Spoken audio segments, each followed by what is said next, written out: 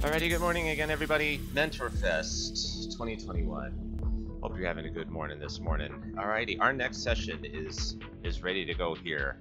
YLs in amateur radio. We got Johnnie KG5 CQO and team that will be uh, talking about what our YLs are up to here in the North Texas section. So let me turn it over to Johnnie and team. Over to you. Good morning. Good morning. Thank you, Aaron. And good morning. And we are just happy to have this virtual Mentor Fest. My name is Johnnie, Kilo Go 5, Charlie Quebec Oscar. And guess what? You are lucky. You are the first to hear about a new page that has just been added to the North Texas section of the ARRL website. The title of the page is Young Ladies in Amateur Radio. This page was developed to provide resources to anyone interested in becoming a ham, but its main focus will be the ladies who want to become a ham. Plus, we are going to be celebrating young ladies involved in amateur radio, and we will start with the North Texas section. This new area is going to provide everyone with information, such as what does YL refer to? Well, it refers to young ladies who are also amateur radio operators. Plus, young does not refer to anyone's age. So, those of you who know me know, yep, I'm still considered a YL. Why have a page dedicated to YLs? Well, each month we are going to want to highlight YL for their achievement. It could be something very small, you know, like building a tape measure antenna. Could be something kind of large, like getting the most contacts in a contest. We want to make all hams aware of the various achievements made by ladies in amateur radio. We hope to continue this over the course of months, ooh, and yes, hopefully years. This page will also include a Did You Know section. This section is where anyone can learn about past achievements of ladies in amateur radio. There have been many ladies who have outstanding achievements in our past. I'm hoping you are going to check out the new page periodically and learn about many lady hams from the past. There is also going to be a section of Instagram accounts we are aiming to attract younger ladies into the hobby. And the best way to do this is to use some type of media like Instagram. And then we can highlight them monthly and post pictures doing, hopefully, ham related activities. This in turn should encourage more young ladies to explore amateur radio. Lastly, we have resources at the end. We wanted to help all new hams, but especially ladies. We will also include a way for you to contact us if you have any questions or if anyone wants to make a comment. We would like those of you who visit this page to make recommendations. If you have a lady you'd like us to highlight or you know something about YLs in the past, let us know. Now, if you recommend someone, you're going to have to send me their full name, their call sign, and their email address. Because as when putting stuff out, I will need to have permission to post about them. We want this page to become a place that we answer questions from most ladies who are usually in this hobby. Please check the page out and let us know what you think. Oh, and please tell your wives, your daughters, your aunts, your nieces about these pages and let your club know, make them aware of the new resource. I can hardly wait to hear what you have to say about the page because I know it's going to get better as it grows. Now you're going to hear a little more from the other members of the team that helped make this page possible. Thanks for listening, and I will see you again near the end of the presentation. So our next speaker is Michelle Caraway, W5MQC. She is part of YLRL, which is the Young Ladies Radio League, and she is specifically the District 5 chairwoman. And District 5 happens to be our district. Good to see you, Michelle. Let's hear what you have to say. Well, Johnnie, thank you so much for that wonderful introduction. And um, to everyone who's out there listening and watching today, thank you for being here. The Young Ladies Radio League is celebrating its 82nd anniversary this year. In May, in the May 1939 issue of QST magazine, the editor placed a lace bordered ad reaching out to women operators, um, asking them if they read the book 200 Meters Down. And even though the preface of the book mentions women, they weren't mentioned in the book. So he wanted to know where are the women? There was a single reply, and it was posted in the July 1939 issue. It was Ethel Smith. She asked all the YLs to contact her and they would organize themselves and call it the Young Ladies Radio League. And 82 years later, we're still active today. Everyone knows that there are major parts of the hobby DXing, contesting, DXpeditions, roving. The list goes on and on. We all know everybody has a favorite part that they do. But as Johnnie mentioned earlier, there is another subset. Next slide the YL, the young lady. Next slide. There are many controversies over the definition of a YL, and those that have been around for a while have heard it all. Um, I know most of you know what YL stands for, but do you know where did it come from? It all started in an ARRL traffic report. It was signed by E.C. Adams on May 13, 1920, to Miss Adair Garmhausen, 3 Bravo Charlie Kilo, responding to an article she submitted to QST. In it, he called her my dear YL.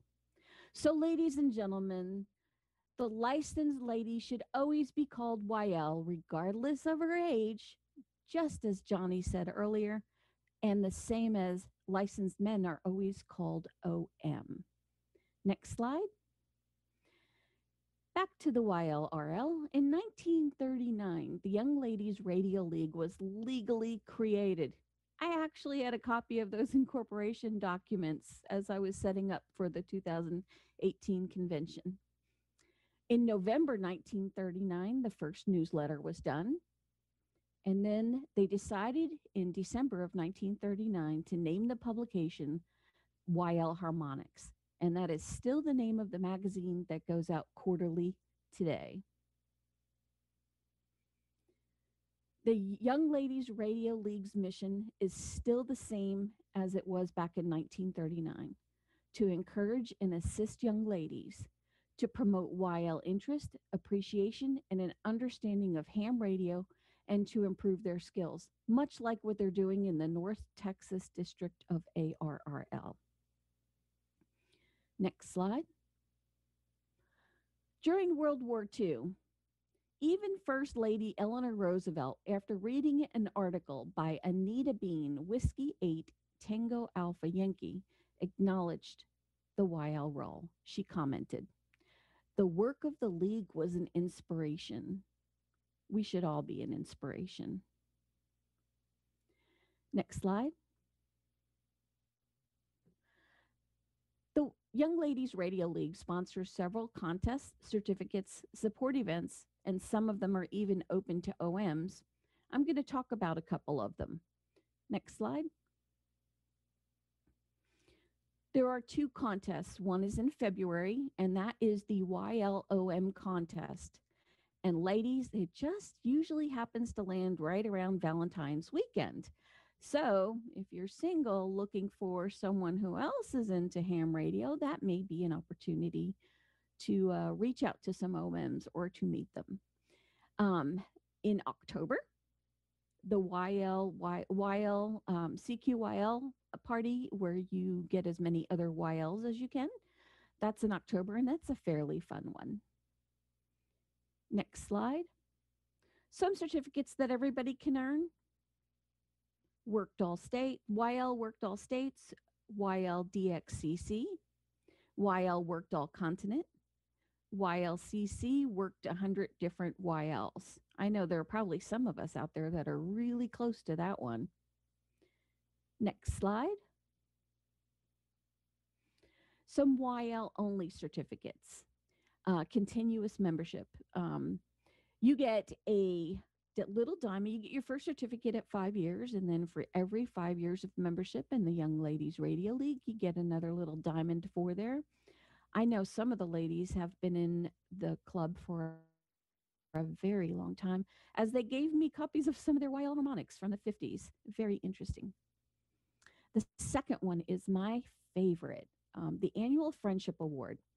Uh, each year, they change what the exchange is. So you want to get the goal of the certificate, of course, is to help ladies um, get over that fright, that mic fright that everybody seems to get into. It's not exclusive to ladies, but um, this one is meant where you have to contact 15 other YLs. You have a whole year to do it. You exchange your name, QTH, and whatever the exchange that year is. This year it happens to be national parks. Now, it, there is a little trick to it in that you can't duplicate the park. So for me, my favorite national park is Denali National Park in Alaska. So if you contact two YLs and they both have the same park, you can't count both of them. You can only count one of them. So, but you have the whole year to do it. And there are a ton of national parks. Last year it was your favorite bird. Every year it changes. It's a fun one. It's good to get out and learn with this one. Next slide. The YLRL also has two scholarships, and they are given to full-time full-time YL students. One is to honor the founding mother, Ethel Smith, K4 LMB, which happens to also be our club call sign. And one to honor Mary Lou Brown, November Mike 7 November. Both ladies are silent keys. Next slide.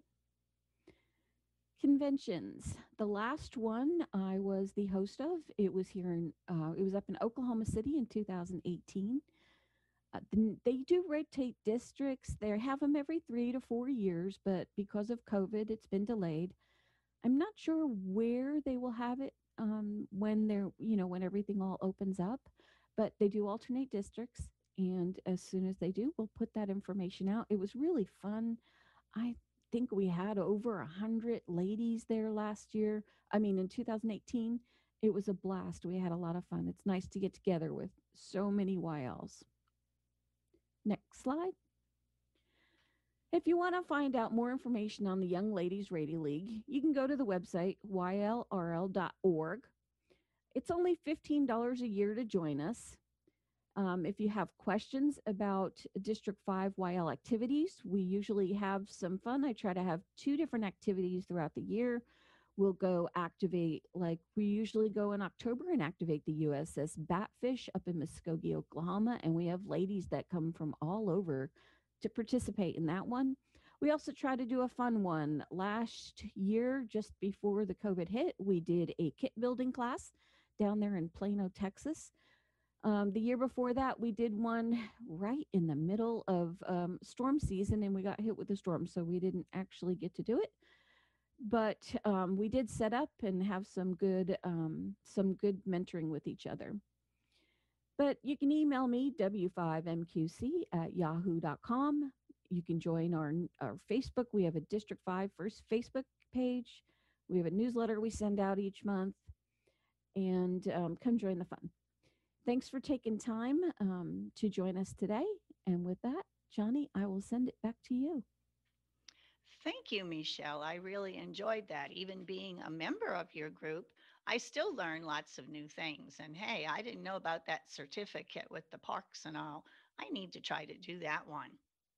And this is a good way uh, for anyone who wants to introduce a YL that they know to the uh, hobby of ham radio is simply to go join this league and visit their webpage. Very nice. All right, our next speaker is Catherine Forsum, KT5 KMF. She is the ARRL North Texas Section Youth Coordinator. And this young lady is definitely going places. I've known her for a few years, and she became a ham radio operator, if I got it right, when she was nine years old. Now, she wasn't able to stay with us today, but she will explain that. But she has done a nice video for us. So here is Catherine. Hi, I'm Catherine, KT5KMF. I really wish I could be here live with all of you today, but as this presentation is happening, I'm on my way to Oklahoma for Sooner Saturday, um, a college visit at OU.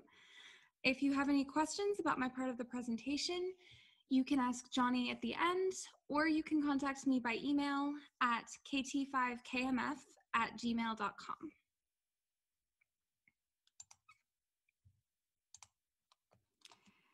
I've been in the position of ARRL North Texas Section Youth Coordinator for about two years now. And my role as the youth coordinator is to find ways to help youth become interested in amateur radio, as well as to connect with youth who are licensed to help them find ways to stay involved in the hobby. So when Johnnie reached out to me about her plans to create a YL web page, I suggested creating an Instagram account to go along with the page to reach more of the younger YLs out there.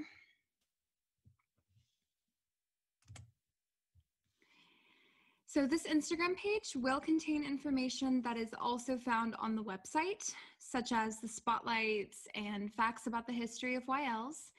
And we'll also link to the website to direct those exploring the Instagram account there.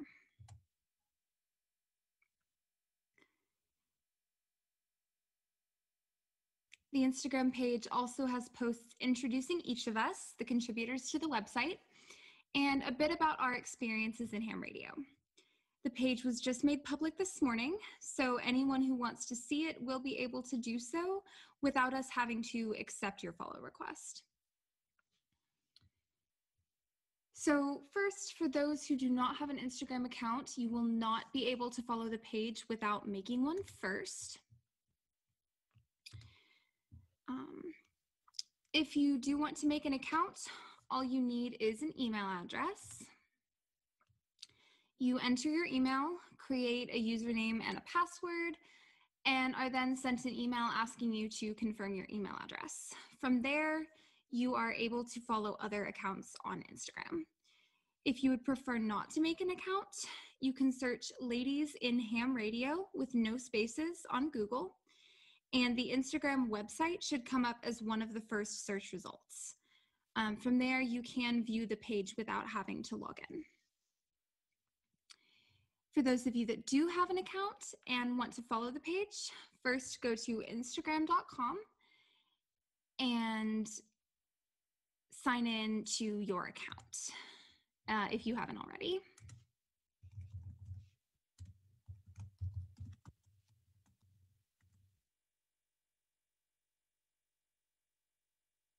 Next, search for Ladies in Ham Radio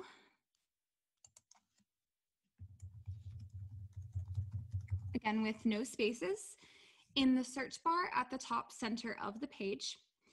The YL account is the first search result that comes up, so click on this search result.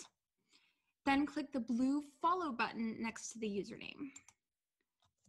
So on my screen, it says requested since the video was recorded before the account was public, but yours should instead now say following. Uh, from there, you can see all of the account's posts as well as have new posts show up in your feed.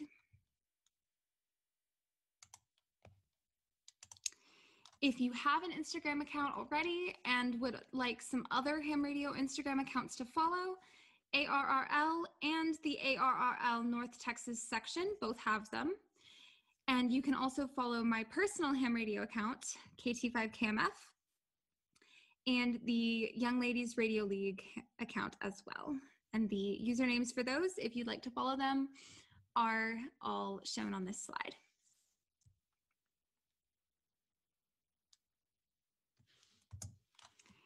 Thank you all so much for being here. And I hope you enjoyed the presentation as well as learn a lot about YLs in amateur radio. All right. Before we go to our next speaker, uh, we are going to have Aaron come in and tell us about something special going on with each presentation. Alrighty, thank you, Johnnie. Yeah, I think it's time for our first door prize. And so, uh, just a quick reminder how this will work in the in the link uh, description below. There's a link to the entry form, uh, which is now open. And in that form, uh, it'll ask you a couple quick questions so we know where to send your prize. Again, you got to be in the um, continental United States and have an amateur radio license, and your address that's on file with the FCC slash what we're going to find in QRZ is where we're going to send it.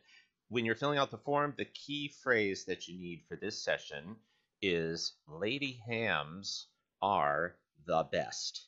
Uh, so we're going to have that form open for 10 minutes, and then uh, we'll go ahead and close entries at that point, and then at the end of the session, uh, we will pick a random winner and uh, get that first door prize awarded. Thank you, Johnnie. Back over to you. Ah, thank you, Aaron, and good luck to everyone who has been listening. So, our next speaker is Allison Hoye, KG5BHY. At present time, she is Vice President of the Mansfield Johnson Amateur Radios. She is also the founder of the YL North Texas Weekly Net and is the liaison for Burleson EOC. With her, and after listening to the rest of us, you are going to see that we are a very eclectic group, which means the web page that we have developed should cover lots of different areas. Allison, what do you have to share with us today?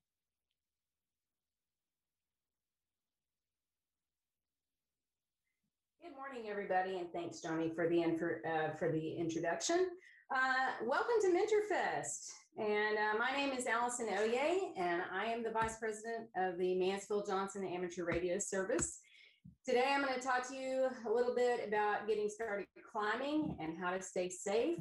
Uh, I've been climbing for approximately four years, never really sat uh, set out to learn to climb but it was one of those things that just kind of evolved uh, our club started putting up and maintaining repeaters and at the time we only had two climbers so fun fact acrophobia otherwise known as the fear of heights is one of the most common phobias out there and lucky me i don't have it so i set out to learn to climb and as a side note, as usual, uh, these sorts of things always run under time constraints. So we're going to fly fast and low, and hopefully we'll have some time for questions at the end.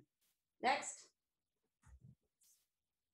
So no matter what aspect of climbing you're considering, whether it be finding an Elmer, purchasing equipment, finding climbing opportunities, or maintaining situational awareness, at the end of the day, absolutely everything comes down to safety.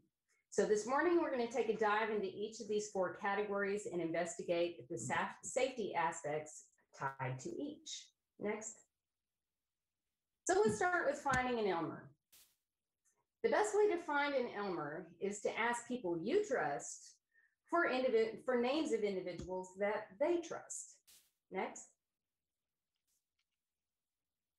Next.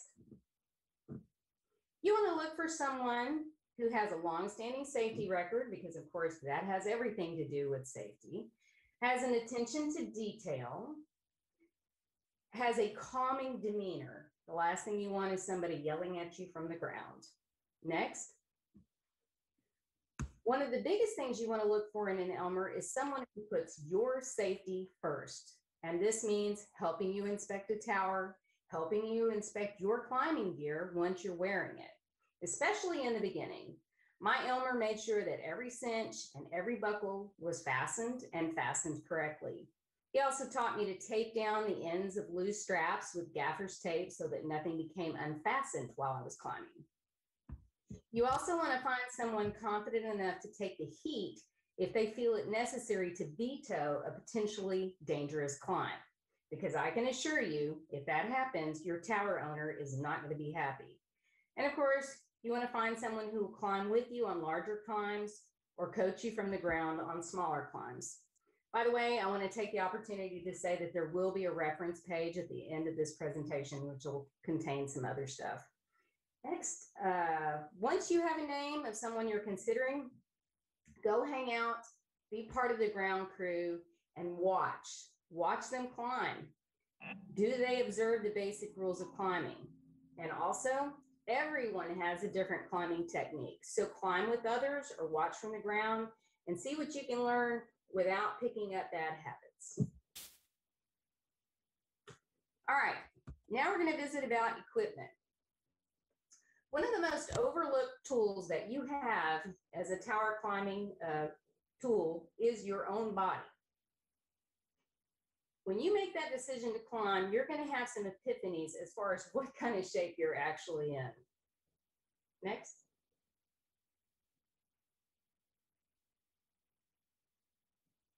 Be truthful with yourself and consider, are you personally fit to climb? Be aware of your physical limitations, whether that be your actual physical fitness level or your height. I'm five foot tall. There are some towers that I physically just cannot climb due to the spacing between the rungs. It also means being aware of your personal fitness level and uh, I can tell you that the day after I climb, my biceps hurts, my quads hurt, my gluteus maximus maximus hurts. I have bruises everywhere, and I cannot tell you where they came from. So climbing is a full body workout. If the only place you're going is up, trust me, it's cardio. Plus, you're lifting your body up over and over and over again with your legs. So it's a strength workout. Also, as a side note, you should be able to do a pull up and you should be able to have the hand strength to open and close your lanyards. And if that means sitting in front of the TV and practicing until you can open and close them flawlessly, repetitively, over and over again, then that's what it means. Also, be aware it is definitely a mental workout. It's normal to be apprehensive, but if you're absolutely terrified, you might want to reconsider your plan. On the other hand, most climbers are afraid of heights, and so that's kind of what keeps them conscientious and safe. The point is, if you let it, climbing will definitely get into your head. On the day before, you need to hydrate like crazy, drink Gatorade, pickle juice, or take any electrolyte supplements, anything that you need to do to keep yourself hydrated. Eat healthy, rest up, and just be. And on the morning of, especially for you ladies, quit drinking fluids about two hours before you climb. Ask me what significance that has. Okay, now we're going to talk about actual equipment. First of all, it's not cheap. So you may want to borrow equipment at first, but if you're serious about climbing, you need to purchase well-fitting ANSI rated equipment as soon as possible. ANSI, by the way, is the American National Standards Institute, and they're a nonprofit organization who sets standards for a multitude of things, including personal protective equipment. Also, some things are going to be more okay to borrow than others. Borrowing a lanyard is fine. Harnesses, maybe not.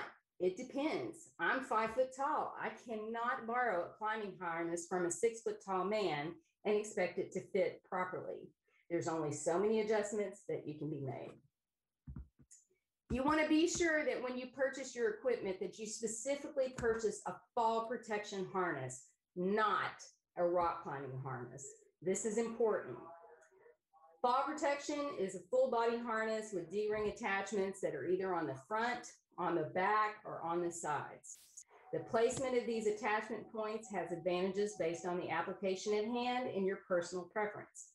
For instance, the D-ring on the back is great for Y straps, which is great for climbing water towers that have rebar ladders. A D-ring on the front is great if you're climbing a water tower with a trolley. Some people prefer the attachments on the sides, but either way, it all comes down to personal preference.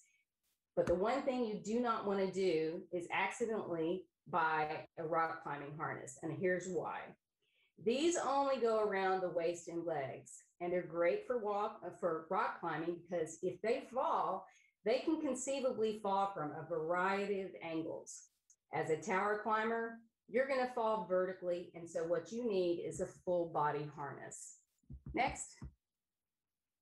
Safety straps, AKA lanyards, come in a myriad of types, lengths, number of clips, etc. There are shock absorbing and non-shock absorbing lanyards. Uh, there's at least two types of clips that I know of, and there's probably more. As for lanyard lengths, they all have their application. An 18 inch strap is great for trolley work. A six foot strap is great for climbing personal towers because you can hook to the D ring on one side and then wrap the strap through and around the tower legs and then hook to the other side of your harness and there you're, you're bound in. Y straps again are great for climbing water towers. Again, there's no right and wrong, but some tools work better for the job and then it comes down to personal preference. Shorter climbs might be okay for a bucket and a lid and, uh, and not having a top and easy access. But if you're climbing up a water tower 250 feet, you're probably not going to want to do that. You're going to want to carry a backpack. But then again, the longer, the more you carry, the, the more tired you're going to become. Okay. All right. So you've got your Elmer, you've got your equipment, and now you're going to find yourself some climbing opportunities. Okay, warning here. Word of mouth is always the best way to advertise, but be cautious because fear of heights is a common phobia, but it does not prevent amateur radio operators from putting up their own towers. And so, also, time happens. The climber who put up their own tower 25 years ago may not be able to climb it now, and now it's a 25 year old tower. The point is, towers are forever. They need a lot of attention, but that doesn't mean that they're all safe to climb. Finding opportunities is not going to be hard, trust me. Next. But basically, climbs fall into four different types. There's existing personal towers, new installs of personal towers, indoor water towers, and outdoor water towers.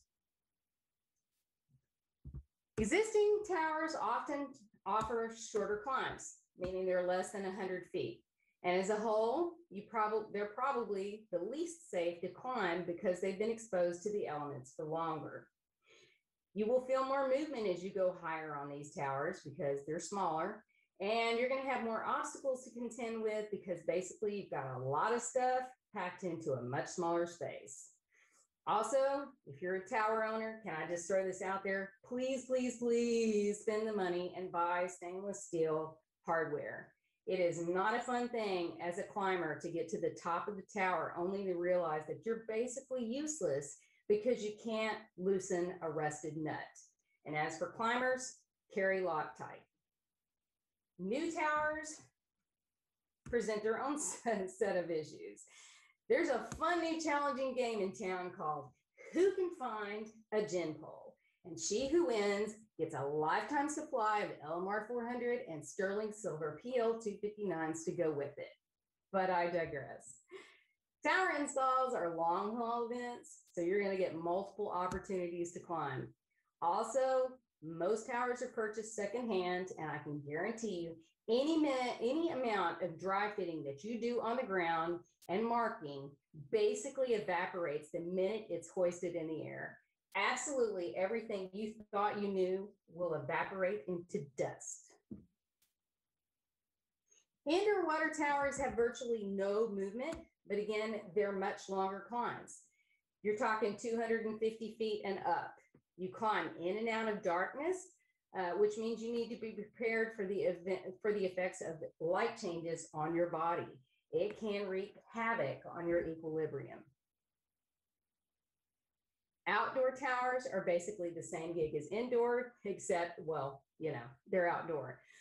But that also means that you're going to be dealing with bird spikes, affectionately known as man eaters. And if you're not dealing with bird spikes, you're probably going to be dealing with other bird stuff or birds. In all climbs, I'm going to emphasize that there will be wasp nests, bird's nest, etc. I was up on a tower about 250 feet one time with another female, and I was watching as she was uh, working on a piece of mesh equipment and gently shooing away wasps. And about that time, she, she mentioned that she was allergic to bees. Please carry an EpiPen if you're allergic to flying things. I'm just throwing that out there. Also, uh, one time I helped an HF uh, take down an HF Yagi for a silent key. And when we tilted over the five inch pole to haul it off, out came a bunch of fossilized squirrels.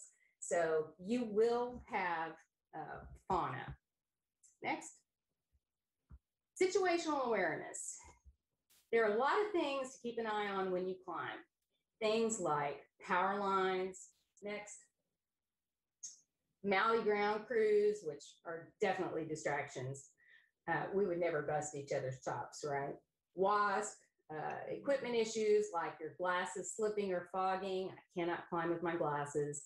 Hat slipping, glove slipping. It's very distracting. Uh, no matter how well they fit, I always have a problem with my gloves slipping. So I personally hate them. I'd rather have my hands just torn to heck than wear them. You need to be aware of tricky transition spots. Uh, things like uh, having coax in the way, again, never step on coax. Uh, ropes and guy wires that cause trip hazards.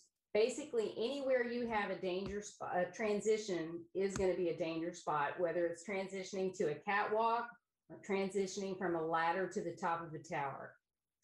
Not being the moment is another danger. Uh, you get into a rhythm and you get lulled into complacency and you think you're doing just fine, but it's at that point that you actually will make a mistake. So every single move that you make needs to be conscientiously made. Also, and this is one that gets overlooked, going up is not the same as going down. When you're going down, you've worked hard for however many hours you've been up on that tower and you're fatigued. Plus, as you go up, you have the advantage of crossing a trouble spot basically twice in order to recognize the obstacle. Once with your head when you pass it, and then you tell your feet to move. But when you're going down, you have to constantly look downward for obstacles. Next. So now we're down to it. Here are the basic rules of climbing. Never climb anything you haven't thoroughly inspected. And part of my real life job is that I work with the oil and gas industry and specifically in pipeline. And so I can tell you that there are some really interesting chemical reactions that happen between concrete and steel. And not every issue that you uh, that you will face can be seen with the eyes. And again, there's going to be a reference page at the end of this. Um, and for reasons that I hope are abundantly clear, never climb alone, never free climb. Free climbing is climbing without a harness. Never, never, never. Um, be slow, be methodical, and be purposeful. Maintain three points of contract, contact with the tower at all times, and at least one of those needs to be a hook. And lastly, anyone on the ground crew needs to be wearing a hard hat. I've seen screws fall and I've seen screwdrivers fall, and I can guarantee you screwdrivers do a lot more damage. So gravity is real. Next. After you've thoroughly considered all of these things, the only thing left to do is just buckle up your guts and do it. Enjoy it because not a lot of people will ever get to experience that view. It's incredible and uh, you might as well enjoy the day. Uh, it's it's an amazing hobby and uh, it's it's there's not a lot of people who will do it. So if you're interested, by all means, go for it. Also, I want to mention the YL North Texas Weekly Net on Monday nights at 8 p.m. here in the DFW area. Uh, the information here is for uh, the local repeater. Uh, if you cannot make that, the Echolink node is uh, my call sign, KG5BHY-L. Uh, my contact information is there. And then lastly, let's hit those resources. All right, these are great links. Uh, this guy, Tyler Ley, Lee, not sure how he pronounces it, has a background in structural engineering and he has a whole channel based on concrete and corrosion and different things, science experiments and that sort of thing. He is amazing. This one particular video is great about corrosion and concrete and how it happens. Also, uh, DX Engineering has a great uh, five part series on intro to climbing and everything from you know how to stay safe and inspect a tower and you know all about fall arrest gear and climbing. Uh, it's it's a great resource. So with that uh, i'm going to say thank you and hand it back to Johnnie and see if we have any questions. Thank you